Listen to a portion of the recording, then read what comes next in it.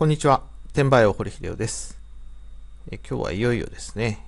アメリカアマゾンへの FBA 納品設定というとこなんですけど、えー、日本アマゾンへの FBA 納品はお済みでしょうか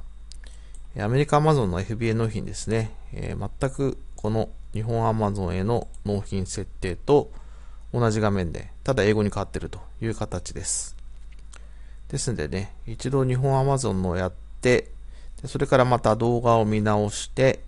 納品設定すればスムーズにいきます。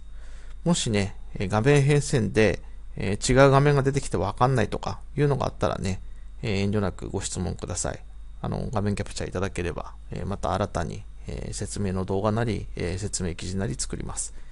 ただ、この書いてあるのがね、そのまま英語になって、で、それで、まあ、納品設定がね、えー、日本から英語に変わってるだけと。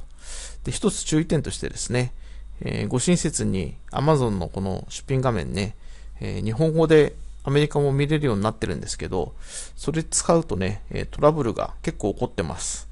えですんで、えブラウザはできれば Firefox、ね、Firefox 入ってない方は、えインターネットエクスプローラー。Mac の方は Safari。Google Chrome は使わない方がいいです。え Google Chrome と、それから Amazon の、えー、日本語翻訳。この2つを使ってね、納品設定すると、えー、なんかトラブルが結構ね、多発してます。バグが起こります。英語が苦手だからってね、翻訳したり、えー、して、バグが起こっちゃ元も子もないというか余計めんどくさいことしなきゃいけないんで、英語の画面で納品設定してください。わかんなければこのね、日本のと見比べながらやっていただいて、で、どうしても見にくいという場合はね、え日本語の、この日本のね、画面キャプチャーの下に、そのままアメリカの画面キャプチャーを作ったマニュアルを作るとかね、動画を作るとかなんか考えますんで、えー、何しろこれで一度納品して、もう一度この記事と動画を見ていただいてですね、この Amazon の作った動画と私の注意を見ていただいて、アメリカの納品設定できるかどうかやってください。普通は、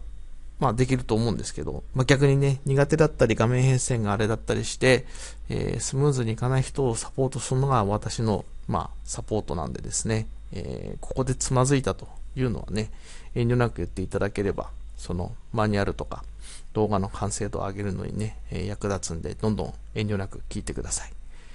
えそんな形で、アメリカ Amazon の納品設定、ブラウザはできれば Firefox、なければインターネットエクスプローラー、Mac の方は、え Safari、えー、Google Chrome と、それから Amazon の日本語翻訳機能は使わないという形でね、納品設定してください。えー、そんな形で、また、もしわかんないところがあれば、えー、画面キャプチャーなり、えー、何なりでご質問をお待ちしてます。以上、転売王堀秀夫でした。